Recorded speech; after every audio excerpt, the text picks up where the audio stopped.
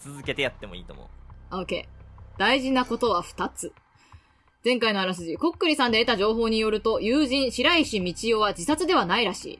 さらに、蘇りの秘術の場所を訪ねると、突然呪霊が現れて、始めます。はい。一週間前。にしてはセピアだな 大昔。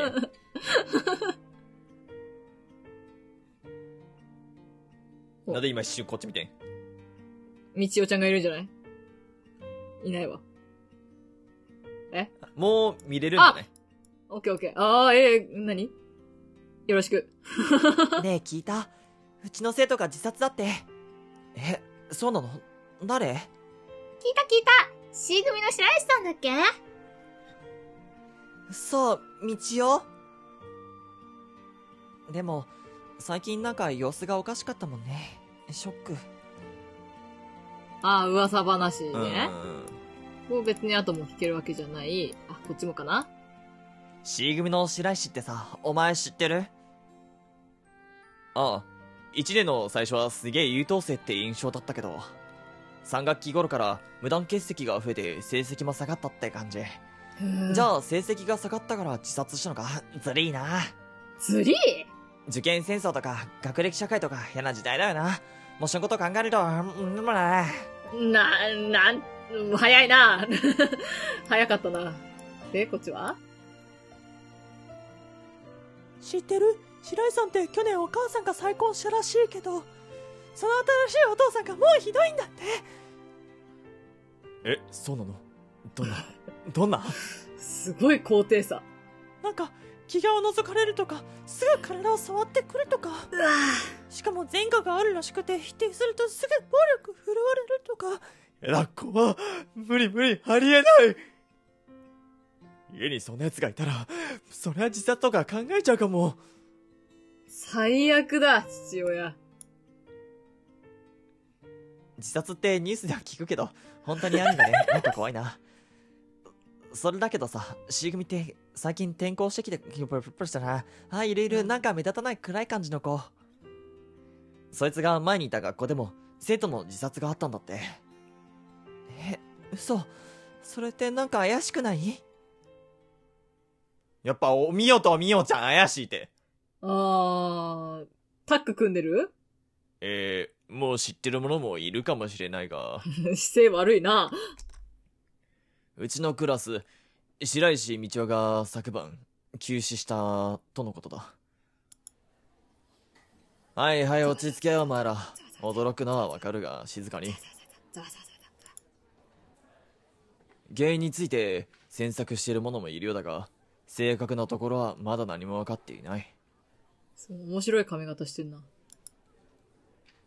詳しい調査結果は警察から報告がある。憶測を広めることなどないようにな。いいな。今日は速やかに下校すること。それから明日は臨時休校になる。おいそこ。イエーイじゃない。不謹慎だぞ。最悪。来週全校集会でお別れ会を行う予定だが、もし個人で、えー、弔う、弔う。うーん。うん。うん。うん。感じが、弔問だって。弔問。もし個人で弔問したいってものは、俺ん。ちまで来るように。先生先生先生先生しっかりしてください一応とどん。な関係でああの、やっこちゃん。あ、ごめんね。えっと、なんだかやっこちゃん、様子がいつもと違うようだったから、思い詰めてないといいなって思って。あー、うーん。距離を感じるなうん。ありがとう、みよちゃん。ありがとう。あ、うん。ありがとう、みおちゃん。私そんなにおかしかった？うん。なんか心配になるくらい。え、なんか、みおちゃんに近づきすぎても良くない気がするわ。あー、本当？あれかな？あのーこういう風に学校転々としてる中でできた唯一の友達、私の友達、ふふふふ、みたいな。まあ、それもそれでやけど。だから、その、まあ、みおちゃんが、うん。仮にその、霊障、抑えてるっていう話がほんまやったとしても、うん。その周りで自殺が起きてしまってることとはまた別問題みたいなさ、うんうんうん。あったりしそう。いやなその原因関わりはみおちゃんにあるみたいな。うんうん。は私でよければ、話聞くから。そうだ。ちょうどよかった。ねえ、みおちゃん。ちょっと聞きたいことはあるんだけど。うん。何？今お腹空いてる？私ペコペコなんだ。どっか食べに行こうか。こっくりさんについて。おー。こっくりさんについて。うーん。うん、みちおちゃんかな。こっくりさんについていきなり振るの意味わかんないもんうな。ん。うん。みちおちゃん、さ、なんで死んじゃったんだろうね。遺書はなかったらしいけど、自殺だって公表されてたよね。うんうん。あの子は絶対にそんなことしないの。みちおちゃんは明るくて前向きで、学校もすごく楽しんでたし、辛いこともあったみたいだけど、でも、だからって自殺なんて、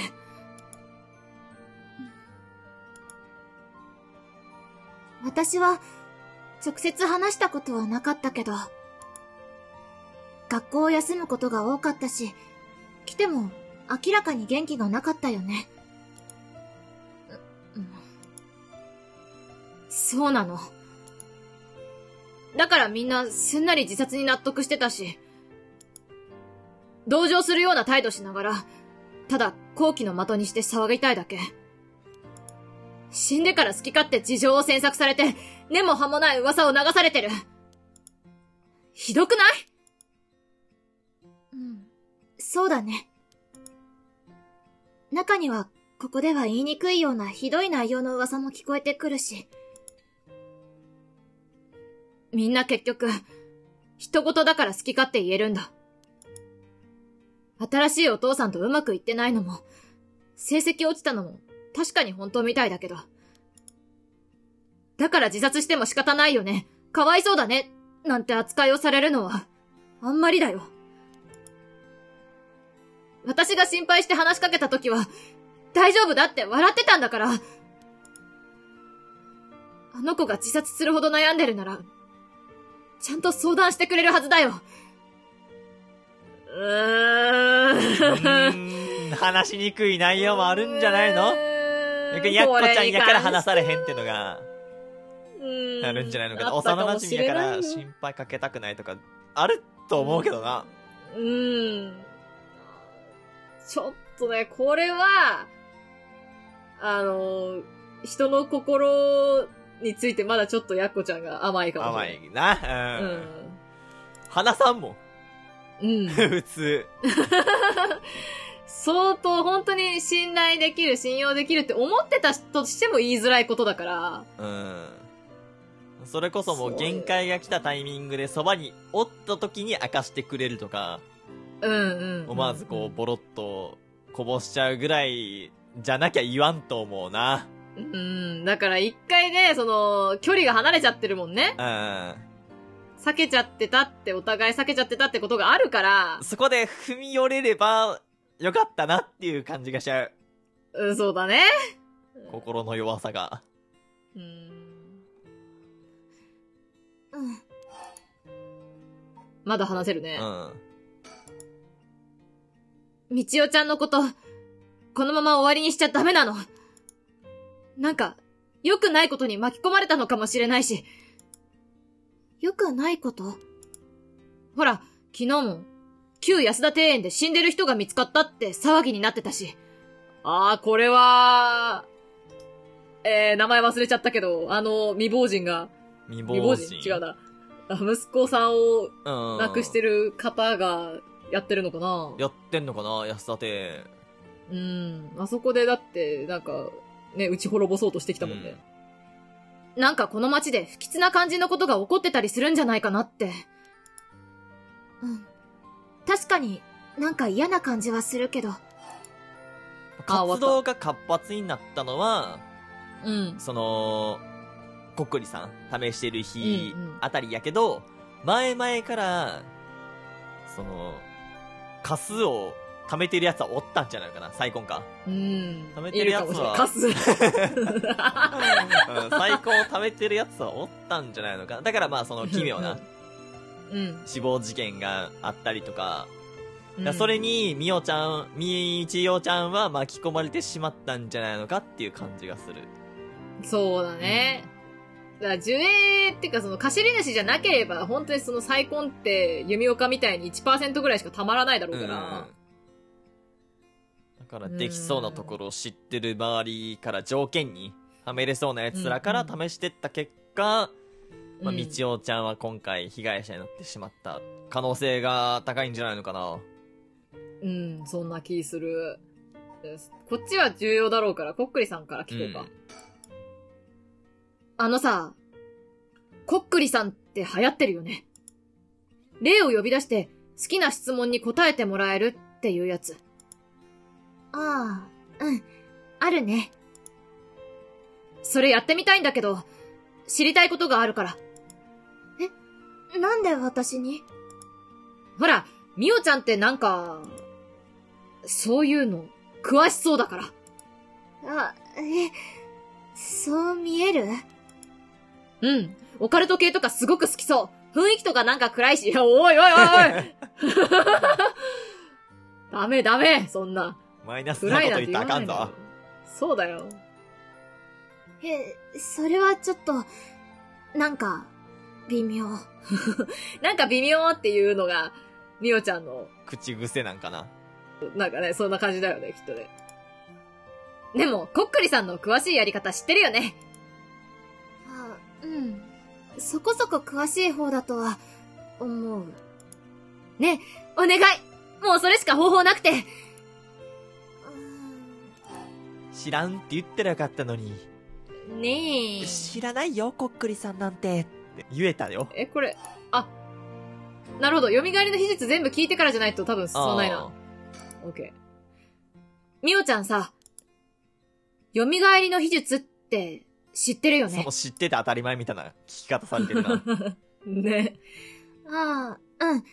非常勤の、あ、荒石。荒石先生。荒石って聞いたことあるの？荒石やで。だって、荒石は、あの時も話してたんや、あの、沖家のルートでも。そうだよね。あ、非常勤、あ、駒形高校の先生なんだっけ？うん。かどうかは覚えてない。あ、でも非常勤のって言ってるから、ここに来てる。ちょっと見ていい？いいよ。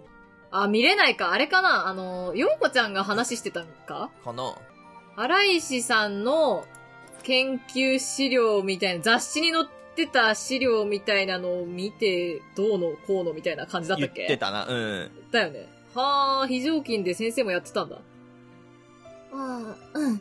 非常勤の荒石先生が独自に発見して発表したっていう。あの先生、授業のたびに自慢するからみんな知ってると思う。このうってする表情好きだな。エリオジュンが宿ってるな。ね。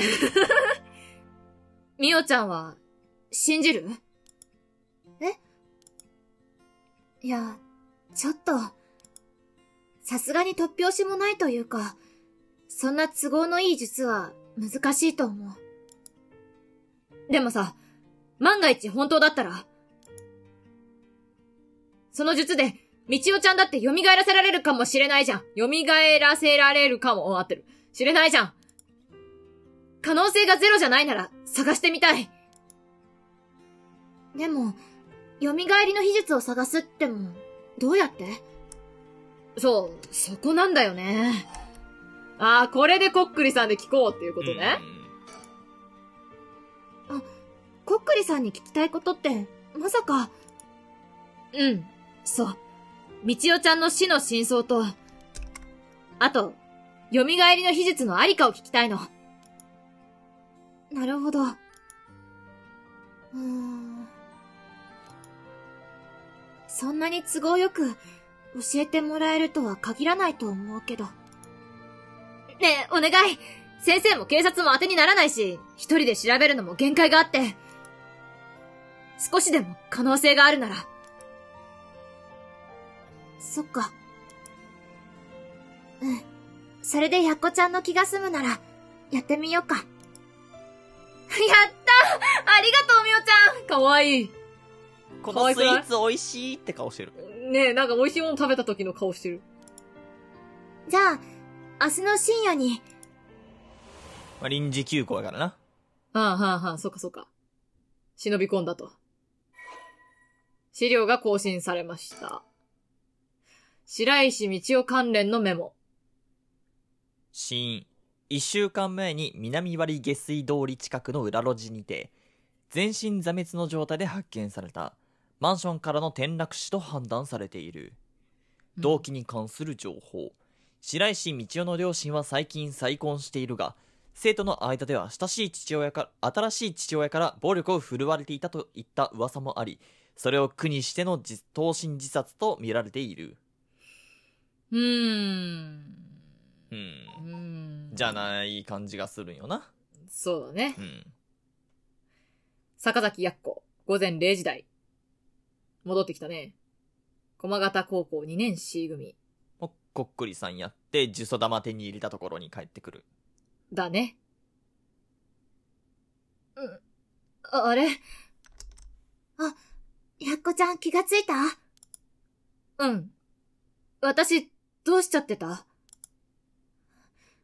思い出せる？えっと、こっくりさんをやってたら、急になんか、うん変な声が聞こえてきて、それで、私、気を失った？うん。私が見たところ、悪い霊障は出てなさそうだから、そうなの？突然の出来事に軽いショックを起こしただけだと思うけど、気づいてもおかしくなさそうやけどなねえ、みおちゃん。そっか。やっぱなんか隠してんじゃん？あー。あ、こっくりさんは？大丈夫？うん。非常事態だったけど、ちゃんと帰ってもらえたよ。それより、やっこちゃん、手に持ってるそれって、え？手？怖っ。うわ、なにこれ気持ち悪いいつの間に握ってた？呪詛玉、バカ林を入手いたしました。うわ、その像、ものすごく強い怨念が渦巻いてる。古い、古い呪いの道具かなんかっぽいけど、え、やだ、怖いやっこちゃん、今変な声が聞こえたって言ってたよね。覚えてるところだけでいいから、何を聞いたか教えてもらってもいい？殺せって。多分、それと関係してるから。じゃあ、直接聞いてみる？いや、姿見られてるから。そうか、ダメだ姿見られちゃダメなんだった。うん。えっと、なんか、暗い地の底から心に直接響くような気味の悪い声がして。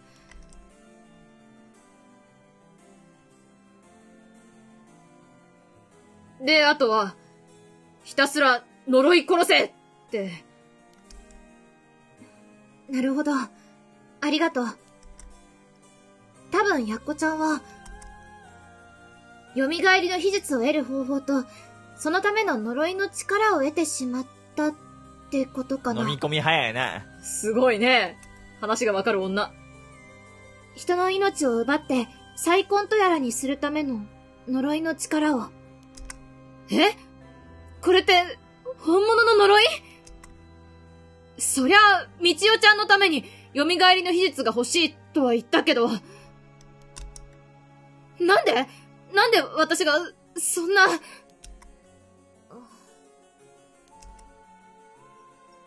やっこちゃん、ちょっと落ち着いて聞いて。みおちゃん落ち着きすぎやな。うん、すごいと思う。落ち着きすぎなんや。まあ、慣れてるのもありそうやけどな、そういう。場数踏みすぎてんだろうね、きっとね。うん。貫禄あるもん。うん。落ち着いてられないようん。落ち着いてられないよ え、そんな、だって、みおちゃんはこういうの慣れてるかもしれないけど、っていうか私、こっくりさんとか心霊現象だって正直なところ半信半疑だったし、うんでも実際出たわけだからもう信じるしかないわけで。その上呪いだとか殺す力だとか、うんそんなの、そんなの、わけわからないうん。それは当然だよ。いきなり色々あったから、戸惑うもん。でもまずは、落ち着いて、ゆっくり深呼吸。うん。プロすぎる。もう高校生とは思えない。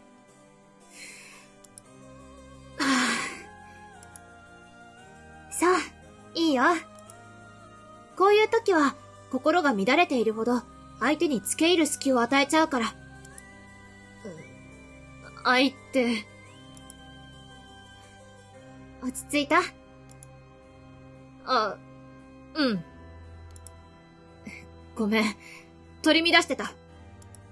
ううん、いいの。怖いって感じるのは、それのことをよく知らないせいだから。大昔から、人は理解の及ばない現象に対して、名前をつけて、受け入れることで共存してきたの。恐怖とは未知から来るって言うからな。言うね。よく言う。うん？ところが現代では、科学や文化が発展してきたせいで、解析できない得体の知れないものを否定できるようになった。そして、心霊はいないことにされた。でも、彼らは今も昔も、ずっとそこにいるんだよ。ちゃんと知れば、必ずしも怖いものではないってことがわかるから。うん怖いものの方が多いだけで、うん別に全部が怖いわけじゃないとは思う。そうね、守護霊とか、言うからな。うんうん。まずは落ち着いて、事実を受け入れて。そうなんだ。私、オカルトが流行ってるからって面白半分で手を出しちゃってたけど。みおちゃん、本当に霊感持ってる人だったんだ。まあ一応、たしなむ程度だけど。そういう風に言う人の方がやってるすごい。ね。たしなみ以上のことやってんねんな。うん。ねえ、みおちゃん。どうしよう。私、どうすればいいの？呪われちゃったの？死んじゃうの？大丈夫。その呪いは私が何とかする。私、そのために来たから。そう、ちょっと面白いやからやめてほしいな。ずっと見てたい、この顔。信じて。私に任せて。安心して。ありがとう。みおちゃんをこっくりさんに強引に付き合わせちゃったのに。うんうん。友達が心配で、藁にもすがる気持ちになるのはしょうがないもん。本当なら、遊び半分でこっくりさんに手を出すのは危険だから、やめた方がいいんだけど。私に声かけてくれて、よかった。じゃあ、今までの話を整理してから、これからどうするのか考えよう。うん。みおちゃんがいい子すぎるな。なんでそこまでして協力してくれるのか。まあ、自分の目的と、うん。つながりがあるんやろうな。まあ、利害が一致してるとかそういうこと？うーん。呪いについてからでいいか。うん。この呪いって、何なの？私、呪われたのさっき少し探ってみたけだけでだけど、じゃあ、みおちゃん？さっき少し探ってみただけだけど、実は落ち着いてないとかな。落ち着いてる風に見えてるだけで、内心学ぶるかもしれないね。貫禄だけでやってきてるみたいな。呪われたっていうのとは、ちょっと違う感じかな。厳密に言えば、呪いの力を行使するための力を得たっていう感じ。だから、やっこちゃん自身に直接霊障が現れるようなことは、多分ないと思う。呪いの力を行使する力？それって、この呪詛玉のこと？条件下でその呪詛玉を使うと、相手に呪いをかけて、命を再婚にして奪う、という力。そもそも、蘇りの秘術を使うには、この再婚が必要らしいから、本来なら、呪いを習得したそれなりの術師でなければ使うことができない術だったんだろうけど、一般の人でも呪いの力を使えるようにしたのは、その呪詛玉なんだと思う。ほう。これを作った人がいるのか。ってことよな。うん。私みたいに何の心得もない人が呪いなんて使えるものなの？めちゃくちゃ使ってたやつおるからな。うん。すっごい冷静に、やっこちゃんのこと殺してたしな、あの人。うん。私使いたくなかったのに。そうやな、使おうとしなかったもんな。うん。事実はもちろん簡単に扱えるものじゃないし、下手すると自身に跳ね返る危険が高いんだけど、実は、さっきコックリさんで異常が発生したその時に、ちょうど0時くらいかな。この辺り一帯に、霊野菜の場が形成されたっぽくてね。冷野菜。冷野菜。野菜。冷たい。冷たい野菜。それだよな。温野菜、冷野菜。冷野菜？うん。霊的な効力を一時的に強めるおまじないの一種なんだけど、それをかけた人物がいるのか。それには、特定の呪詛の力を発現しやすくする効果もあるの。影響範囲は、この強さだと、半径3から4キロくらいかな。すごいな、そんなとこまでわかるんだ。把握しすぎやろ。強い。半径3、4キロだと、墨田区なんてすっぽり入りそうだね。もともとこの土地に残されていた恨みのもとを、霊野祭で、呪詛玉にして権限させたんだと思う。誰かが。誰が？そこまではわからない。でも、誰かが蘇りの秘術を復活させるために仕組んだことなんだと思う。うんうんうーうんん。。その人も蘇りの秘術をもともと求めてた。のかな？そうじゃなきゃ多分ね、そういうことしないだろうし。うん。これが、自然現象のはず、ないから。そうなんだ。資料が更新されました。冷野菜。うん。えー、よく冷えた野菜。一言で済んだな。霊的効力を一時的に高める場を形成するための術式。術式。うんうん。場にある特特場にある特定の霊力を高める他にもその地に存在していた恨みや思念を増幅させるといった使い方もされる。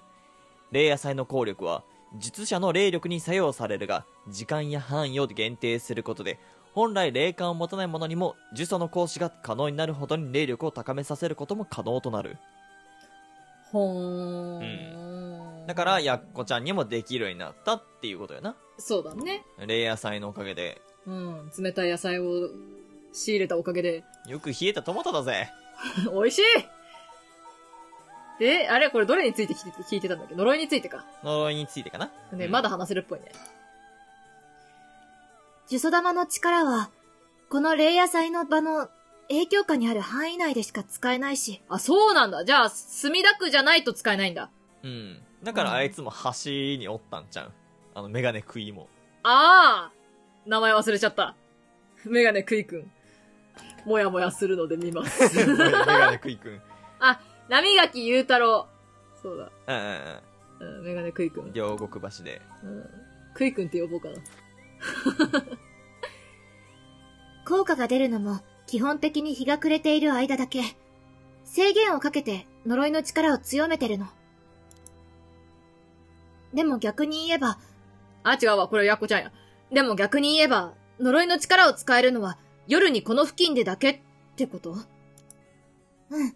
制限で言えばその上、さらに、実際に呪い殺すには、個別の発動条件を満たす必要があるみたいだけど。発動条件？私の場合は、樹影の発する音を30秒聞かせるっていうことだっけ？正直どういうことかよくわからないけど、その樹影とやらも音もどうやったら出せるのか。念じれば出るのかなちょっと試してみていい？いやいやいや、やめてやめて。そんな軽はずみに呪い出さないの。条件があるとはいえ、呪いの力で証拠を残さず人を殺せる力なんて、十分やばいから。そういう意味では、やっこちゃんは呪いを受けたと言えるのかもしれない。うん。私がついていながら、こんな事態に巻き込まれたのは申し訳ないけど、まだ聞ける。すごいな。情報が多いな。うん。その呪詛玉、多分それを持ってる人が貸しり主になるんだと思うから、私が預かってた方がいいと思うんだけど、ああ、渡すとかできんの？これ。できるかもしんないけど、それで分岐するかもね、もしかしたらね。あ持ってたよね、ただ、大きい家の時。は。おきえの時は持ってた。うん。みおちゃんごめんって言ってたもんな。ね。それもなんか押し付けるみたいで悪い気がするけど。いや、でもごめん。その呪詛玉からすごい拒否反応が出てて、手放すの難しそう。みおちゃんにもらわれるの嫌って。この子怖い払われちゃうってなってる。それより恐ろしいものがついてそうやもんな、みおちゃん。確かに。え、なんで？下手に引き剥がすと、呪いがぼ暴発するかもしれない。まあ、呪い側が、薬効を選んだってことになるのかな？そうね。うん。貸し主として選んだってことになってそうやから、剥がしちゃうと良くないのかもな。おみよとみちお、一体化してるかもしれない、これ。うん。はそのくらい、なんか、やっこちゃんから離れたくないような意志を感じる。ええ懐かれた？勘弁してくれ。その呪詛玉、やっこちゃんからはただの古い根付けに見えてるかもしれないけど、実は私から見ると、すごい恨みの霊気で下手に触れたらどうなるかわからないほどで。偉そうに言ってたけど、ここまで強い呪いの道具は、扱いが難しくて、そうなの？これが？その辺に捨てて、誰かよからぬ考えの人に渡っても大変なことになるし、変に外から干渉するより、やっこちゃんが持ってた方が、今は安定するとは思う。うーん、なんか怖いなとりあえず、夜明けまでの時間をどうにかしのいで、朝になれば呪いは弱まる、弱まると思うから、処理できる方法を探そう。手伝うから。うん。だから、夜に、夜から朝になって欲しくなさそうな口ぶりやったの、今。うーん、みおちゃん、ちょっと怪しいな。私のさじ加減かもしれないけど。うん。だから、大事なことは二つ。一つ目、夜の間は条件を満たさないようにする。そして、二つ目、もし満たしていても使わない。うん。ああ、これで呪いについて全部聞けた。あああ、大事なことは二つ。タイトル回収。あー、言ってた なるほどね。できるだけ使わせへんようにしてはいたんやな。うんうんうん。みおちゃん的には確かにその呪いとか、そういうものについての恐ろしさをよく知ってる人だから、うん。やっこちゃんに危険な目に遭ってほしくないっていう思いはあるのかもね。かもな。うん。あの、純粋にと捉えれば。うん。悪意あるように感じないけどね、今のところは。ないなうん。うん。あ、疲れてきたぜ。ふう、七不思議について聞くか。謎の声は、その呪詛玉のこと、バカ林って呼んでたんだよね。うん。それって、本所七不思議のだよね。うちの学校って、本所七不思議のバカ林のゆかりの地だって言われてるし。うん。無関係じゃないと思う。これは多分だけど、蘇りの秘術を求める気持ちを察知して、取り付いてきたのかもしれない。うん。あなるほど。これが、本所七不思議の呪いってことは、他の不思議の呪いを受けた人も、いるってことだと思う。うん。謎の声も、他の貸しり主っていう言い方もしてたし。しかも、貸しり主を呪い殺せば、多くの再婚が手に入る仕組みだとか、なんとか。うん。ちょっとまずいね。狙われちゃうからね。そうやな。おき家とかいうズッキーに似た人に。殺されるぞ、気をつけろ。こっちから呪い殺すつもりがなくても、他の貸しり主に見つかったら、狙われる可能性があるってことだから。しかも、大きい家、呪いのタイプ相性悪いからな。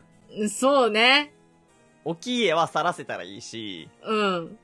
逆にやっこちゃんは、姿見つかったら後やから、去る必要があるのよな。そうそうそう。わあしかも多分みおちゃんも、そのもし、他の人に出会うかもしれないから、誰かに会わないようにしようとか、会ってもすぐ逃げることとかって絶対言うと思うから。言う、うんうん。ね他の七不思議の呪いを持ってる人と 遭遇しないよ。言ってる。言ってる。夜のうちは、なるべく人に関わらないよう注意していこう。ねえ。注意した結果、タイプ相性が悪かった。蘇りの秘術について。でもさ、みおちゃん。この呪いが本物なら、これを使えば、みちおちゃんをい生き返らせられるってことだよね。蘇りの秘術も本物ってことだよね。そうだと思うけど、それはダメだよ、やっこちゃん。でも、だけど、今は、なりふり構ってる場合じゃないような気もしてきて。それこそ、蘇りの秘術って時間空くと、もっといっぱいの再婚が必要になるって言うし、うんうんうんうん。一週間、だからね。どれぐらい必要かは分からへんよな。うん。だって、おごぽご8年か7年やからな。うん。意味わからんくらい必要だったと思うわ。みちおちゃんが事故だったならさ、さぞかし未練もあっただろうし。見ず知らずの人を、ちょちょっと呪って再婚を奪うくらいなら、別にさ、いいんじゃないかな、みたいな気がするっていうか。どうしたの？やっこちゃんらしくないよ。なんか、そういう判断ができるようになるのもさ、うん。呪いの影響なんじゃないって思っちゃかもね。ちょっと考え方変えられてるかも。う。うん。洗脳みたいな感じなのかな？だって人の命を奪ってるからな。うん。そう、直接手を下さんから、うん。その大丈夫かもしれへんみたいな気持ちになってるかもしれんけど、うん。なんか、一人生き返らせられるなら多少犠牲はあってもいいよねっていう判断が簡単にできるのは呪いの影響なんじゃない？って思っちゃう。うん。貸しり主になっちゃった影響な気がする。だって、やっこちゃんのその人物ページうん。見てる感じ、ねえ、正義感に溢れているじゃない。人情とうん。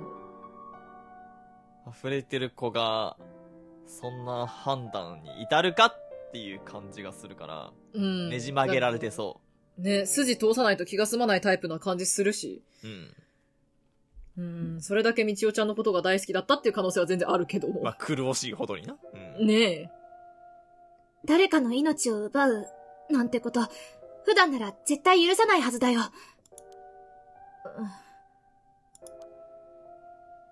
呪いの影響？あ、気にするよな、みおちゃんも。ねえ。樹影の持つ怨念に染まったのかも。ちょっとごめん。見させて。すごい！見れるの？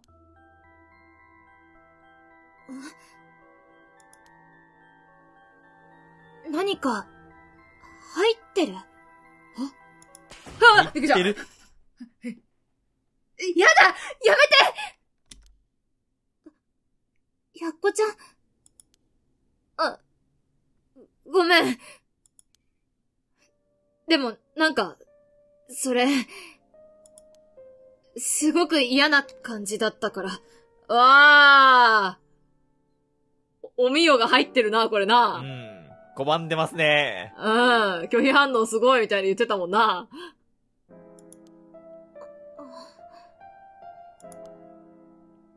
わかった。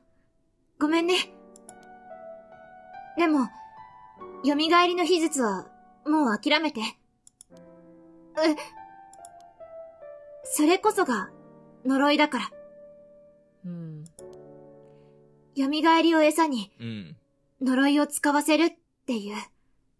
しかも、その呪いで蘇ったとしてさ、まあ蘇りの秘術で蘇ったとしてさ、その人自身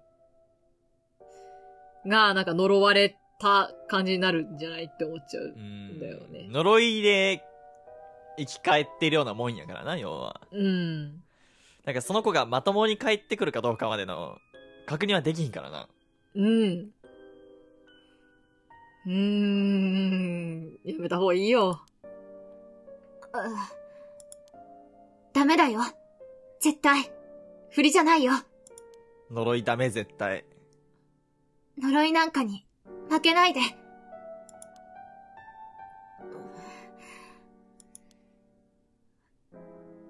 でも、みちおちゃんを、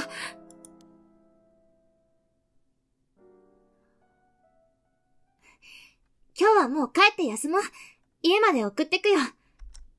朝になれば、呪いの影響も静まるはずだから。今は特に強い気持ちになっちゃってるかもしれないね。うん。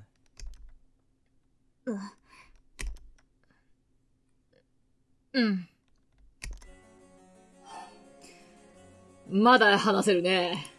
だからそれこそ朝になれば、その、人を呪おうみたいな気持ちも弱まるねかもしれへん。うん。そうだね。いやー朝まで待てるのかなだからごめん、みおちゃんなんじゃないあー。私やっぱり、みちおちゃん生き返らせたいのごめんじゃないかなあれじゃない？なんか、こう、みおちゃんを拒んでまで、みおちゃんのことをなんとか呪い殺して学校から出てきたとかなんじゃない？だって一人で出てきたもんね。それこそれそか、あれじゃない、うん校内放送でうん。聞かせて、うわ学校中で鳴り響くから、うん。うどこによっても聞いちゃうし、わ本人が逃げ続ければ、うん。見つかることはない。そうだね。そう。あと、あれだね。放送室に立てこもったりとかすればうね。ん、そうそうそう、姿見られんかったらいいから、うわやってんじゃないの？やってるかもなごめん。蘇りの秘術、秘術、秘術、秘術。うーん。言えねえ。術って難しいよな。秘術って出てくるために、う、う、うって思いながら やってたんだけど。俺もそんな気持ちやったねった。マジで。うん。蘇りの秘術は、もう諦めて。私たちには過ぎたものだった。呪詛玉一つでも手に負えないくらいだから。うん死者を蘇らせるなんて、そんな生優しい話じゃなかった。惜しむ気持ちもわかるけど、今は、この夜を無事に生き残ることだけ考えて。現実逃避でしかないのよな。そうだ生きね。返らせようっていうのは。うん。受け入れられないだけだよね。うん。受け入れるの難しいのはすごいわかわかるけど、ね。る。受け入れるってすごい難しいけど。うん。うん。だからって逃げていいのかって言われたらそうじゃない気がしちゃうから。うん難しい判、うん、そこの判断難しいな。難しいよ。そのくらい危険なところに足を踏み入れちゃったの。うん。人間の死に関わるってそういうことだよな。どんだけ大切大切なものを失ったかのレベルによるよな。うーん。いや、私もでも大事な人を失ったらそうなるかもしんねえ。秘術秘術秘術実ってなっちゃうかもしれない。呪い殺すくらいならいいよねって。そう。全然知らない人なら別に関係なくない？やってる。やっちゃってる。えー、怖いなありそう、普通に。うん。じゃあ、理解できたなら、そろそろ行こうか。まずは来たのと同じルートで、この学校を出るよ。う、うん。大丈夫だよね。学校、誰もいないよね。だと思うけど、夜勤の公務員さんも、こう、合ってるね。公務員さんも、この時間までは見回りしてないはず。あれ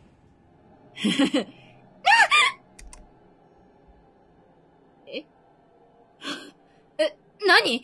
急に真っ暗に。みおちゃん大丈夫？あ、姿見えないあ、やばいやばいやばい。あこれ勝使えっ手にて言ってるな。呪詛がうん発動しちゃうんじゃない、かも。言ってる。使えって。あ、ああ、見えるのかえ？見えないよ。でもなんかうっすら見えるわ。え？うっすら机が見える。ほんとえ、い、あ、机は見える。机は見えるけど、みおちゃん見えないよね。あれ、みおちゃん？いない。なんで？いない？どこ？なんかおるか？あ、み、みおちゃんあ、あ、ぽいのがおる気がする怖い怖い怖い怖い、ちょっと待って。音聞こえた、なんか。え、なにみおちゃん？みおちゃん？みおちゃん？ド、ドーンやめてね、ドーンは。ちゃんみおちゃんみお、ドーン、ドーンダメよ、ドーンは。ドーンないね？後ろ回ったけ後どなんもない。あ、おるおるおるおる。あーなに何？ですか？なんかおるよ。なになんで、なにこれ？なにこれ？血に濡れてそうやけど。なにえ、みおちな、な、な、ゃんなに違う、これ、おみよや、おみよ。はぁ上、上向いて、上向いいて、上向いて。て。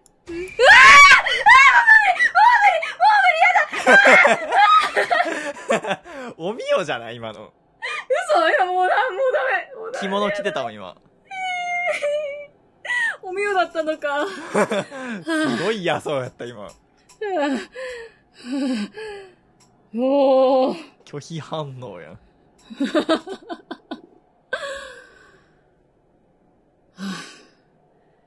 いや、みおちゃんはおみよに拒否反応出てたけど、うん。私はおみよに拒否反応が出てる。何何何何何何何何何今の。もうやだ助けて。みおちゃんみおちゃんどこ？やっこちゃんこっち。こっちにいるよ。見える？え、どこどこ？何も見えないなんか今、ポーってなったな。あ、これ、ポこれか。うん。どこですか？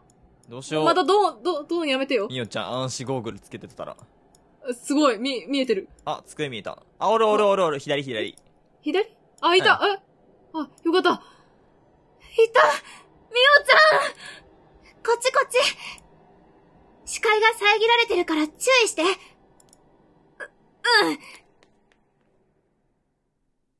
まあ、みおちゃんが、やっこちゃん自身を捉えてる限りは大丈夫だもんね。うんうんうん。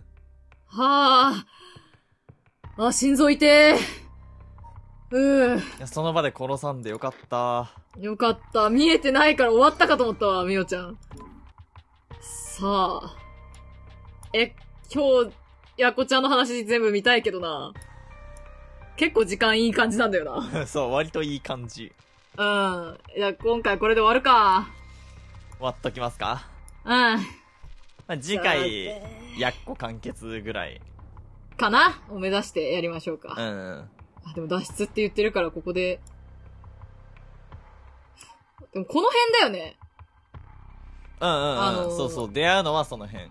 ううん、やっこちゃんが出会うのこの辺だから、まだあるはず。大丈夫だ。もう2個3個ありそうな感じするな。うんうんうん。やっこちゃん、救いの道、あってくれないかなうん、まあ、大きい家に合うか合わんか、やと思うから。だねうんうん。うん。じゃあ、また次回、はい。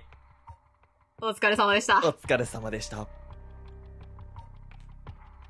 面白いね。おもろ。